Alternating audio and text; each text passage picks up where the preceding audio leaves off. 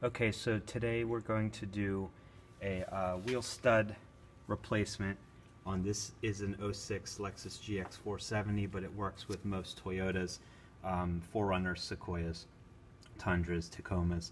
Uh, what we're doing is going to be taking off the caliper here with the two 17 millimeter bolts and the caliper um, brake line um, bracket uh, 10 millimeter bolt and we'll be suspending that up so it doesn't hang on this.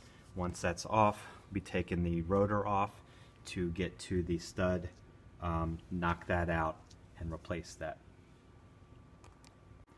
Okay, now that we have the uh, caliper off, safely out of the way, uh, this was a 12 millimeter bolt by the way, and the two ones for the um, um, caliper are 17 millimeter.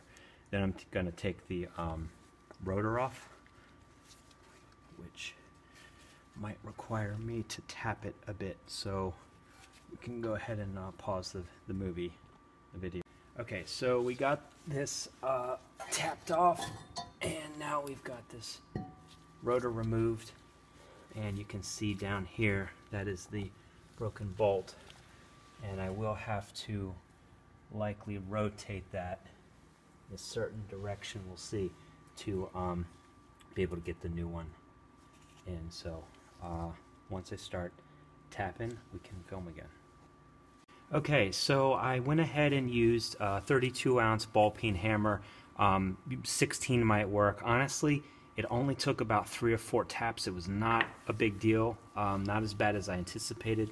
Um, there's the broken one right there. And then here is the uh, new Toyota one.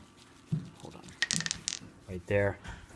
And so put that right in there and I'm gonna have to use some uh, of the lugs to, to pull that and I will um, do that and then I'll come back and explain.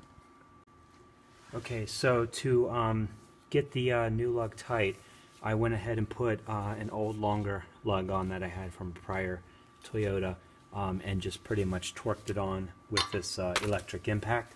Um, around the back it's completely flush so it is seated and now I'm ready to go ahead and remove that and reinstall everything.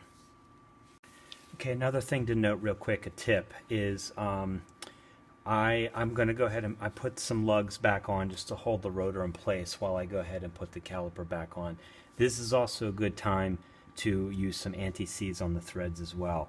I'm not sure, but I believe that one of my lugs, um, one of my old lugs, I think might have gotten a bit corroded inside. I certainly have not over torqued them, and it fused on.